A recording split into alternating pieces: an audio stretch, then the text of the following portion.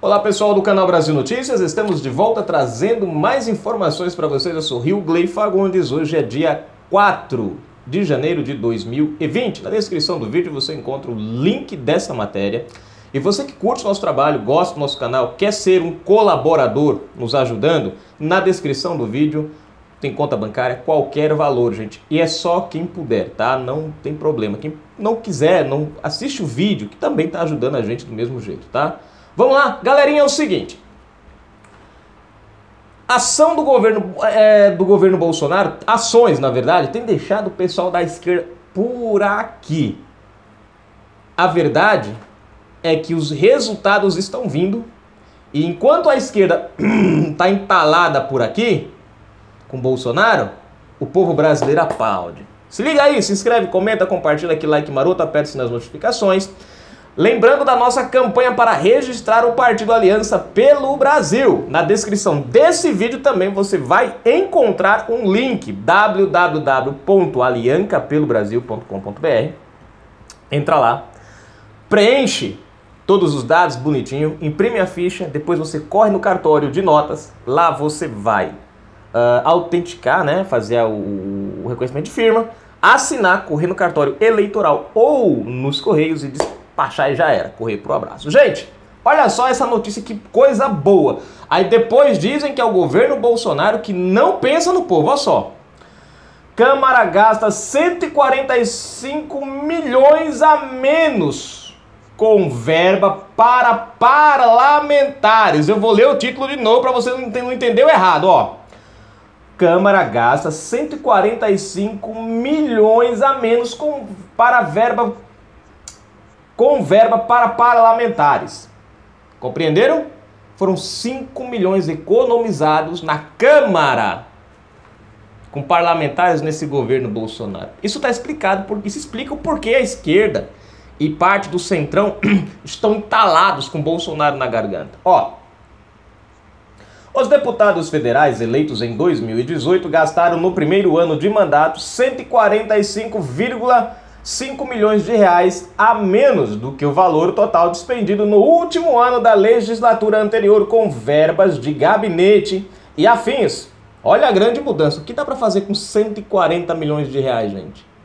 Economizados. Não é o governo que gasta mais, é o governo que economiza agora. Olha a diferença. Os números levam em conta os gastos da Câmara dos Deputados com viagens oficiais, conta, cota parlamentar, verba de gabinete e auxílio moradia em 2019 e em 2018. Os dados mostram ainda que a renovação de 47% da casa na última eleição já reflete o já refletiu em parte os anseios da populações em reduzir os gastos com o legislativo. Ou seja, por isso que eu falo, não adianta votar num presidente honesto e não saber votar na, na base, que são os deputados na Câmara, no caso. Você vê, só porque ó, mudou 47%, já temos um resultado desse. Agora você imagina se nós tivéssemos conseguido mudar 100% da Câmara. Qual não seria o valor de economia? Continuando. Em 2018, as verbas para os 513 deputados realizarem suas atividades somaram 872,7 bilhões de reais, milhões de reais. Em 2019, o valor ficou em 727,2 milhões. A maior diferença entre o primeiro ano a maior. Cadê aqui? Cadê? Opa. Aqui. É, a maior diferença entre o primeiro ano da nova legislatura e o último da antiga foi o gasto com verba de gabinete, que foi 98,3 milhões de reais menor. Com esse recurso, cada deputado pode contratar até 25 secretários parlamentares para atuar em Brasília ou nos escritórios políticos nos estados de origem dos parlamentares. Ou seja, com esse recurso que foi economizado, era o recurso usado para contratar isso aqui. A nova legislatura também gastou menos com auxílio moradia e cota parlamentar, verba utilizada para bancar despesas como viagens dos deputados, contas de celular, gastos com divulgação do mandato. combustíveis e aluguéis de carro. Por outro lado, os deputados eleitos em 2018 gastaram 3 milhões de reais com viagens oficiais. Ao todo, foram 6 milhões com missões oficiais no Brasil exterior em 2019, enquanto em 2018 a Câmara desembolsou 3 milhões. Bom, isso é sinal que eles trabalharam mais, né? Não foi viagens particulares, coisa não, foram viagens oficiais em questão, né? Ou seja, economizaram dinheiro com, tirando o desperdício, passaram a trabalhar mais, porque aqui são viagens, aumentou, fala, mas no, no governo do Temer lá foi três, agora foi seis com esse negócio de viagens oficiais, exterior e tal. Bom, significa que no governo do Temer eles estavam parados, sem trabalhar. Por isso economizaram um pouquinho, gastaram um pouquinho. Nesse caso aqui, a gente já teve parlamentares viajando para vários países. Ó, esses dias o Eduardo Bolsonaro fez um, um né, uma, uma, passada ali no Oriente de novo, olha como o Bolsonaro fez. Você teve aí outros parlamentares viajando é, para a China, que alguém até. Ai, porque a China, meu Deus, como é que. Bom, vai dizer isso para o pessoal que está exportando carne para a China, para China, para o pessoal que está exportando laticínios para a China, que abriu a porta de mercados para eles, para muitos que já estavam falindo e agora encontraram, graças a Deus, uma, uma nova fonte para vender os seus produtos. Vai dizer isso para eles. Né? Parlamentares viajaram lá na China, criaram aí esse vínculo junto com o presidente, graças a Deus está aumentando a produção brasileira, né, em vários aspectos e outras coisas mais. Então, se os caras gastam trabalhando, beleza. Agora, nós temos que olhar isso por um todo. São 140 e poucos milhões de reais economizados só no primeiro mandato do presidente Bolsonaro. Aí a gente dá uma voltinha e vai entender, ó. Você pega, por exemplo, o partido. Eu vou dar só um exemplo mais né, comum que a gente sempre usa aqui. Partido do Novo. Vamos pegar um deputado do Partido do Novo e vamos pegar um deputado do PT. Para vocês terem uma ideia quem são os gastões e quem são os econômicos.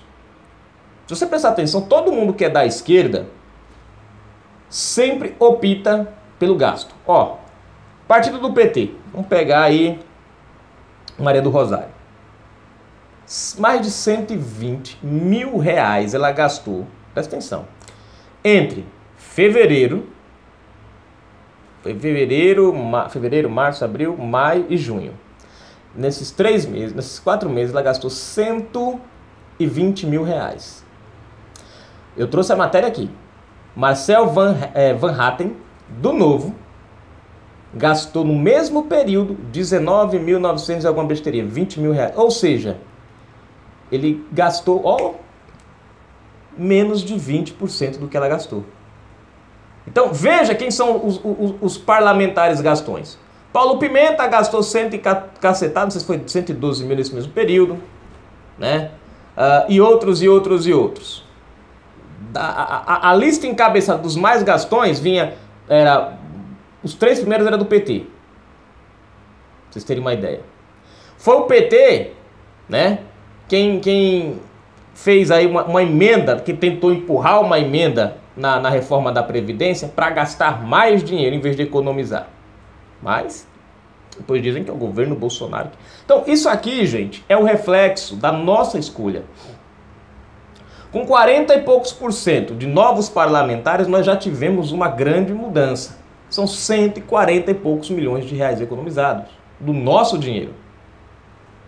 Né? Você vê que interessante, ó. No parlamento, cento e poucos milhões economizado. Na nossa dívida externa, na nossa dívida inteira, nós pagávamos é, agora no ano de 2020 serão cento, não sei se é 180, meu Deus, é 150 bilhões a menos de juros que nós vamos pagar por causa da taxa Selic que desceu. Então vai somando. No, no meio do ano, o BNDES recebeu 300 bilhões de reais de dinheiro que estava voando por aí. Angola, se não me falha a memória, acabou de quitar uma. Eles tinham mais prazo, mas quitou uma dívida, deu logo de uma vez só o que, só, que faltava, cerca de 2 bilhões de, caceta, de cacetadas para o Brasil, adiantando a dívida. Então, gente, é dinheiro que está entrando. É a Operação Lava Jato recuperando bilhões de reais que foram roubados. Quando foi que a gente ouviu falar né, que ao invés de estar faltando, nós estamos recuperando? Tem muita coisa para mudar? Tem, gente. Mas se você parar para prestar atenção, o governo Bolsonaro tem dado certo. Você ouvir dizer que o parlamento economizou 140, mas vamos arredondar aqui 140. Que o parlamento economizou 140 milhões de reais, isso aqui já é um avanço milagroso. Quer dizer, se você consegue isso no primeiro ano de mandato, em que um presidente pega o país ferrado, quebrado, muito depenado, detonado, estourado e tudo lado que você imaginar. Que será que esse presidente não vai conseguir ao longo dos outros três anos que lhe restam? E se ainda tivesse um parlamento, e olha que nós temos um parlamento que só tem trabalhado, é, é o presidente sozinho puxando a corda para o lado do povo e eles, junto com o STF, puxando a corda para o lado deles. E mesmo assim, Bolsonaro tem conseguido tudo isso. E tem gente que pergunta: o que que o presidente fez? Eu não sei se a pessoa ou é desonesta a fazer essa pergunta, ou é desinformada, ou acredita em Saci Pererê. Eu tô começando a achar que ela acredita até em mula sem cabeça. Em Lula sem Não, mula sem cabeça. Lula sem cabeça. Tem a mulher barbada, tem o Lula barbado. Bom, deixa pra lá esse negócio, né? Enfim. Tudo, né? A questão, gente, é que nós estamos vendo o nosso Brasil se recuperando. Economia na Câmara é dinheiro sobrando para a União. Precisa se mudar muita coisa ainda. Mas estamos dando os primeiros passos. Canal Brasil Notícias. E é isso que a esquerda não consegue admitir. É um governo que economiza para o bem do povo. Isso eles não aceitam.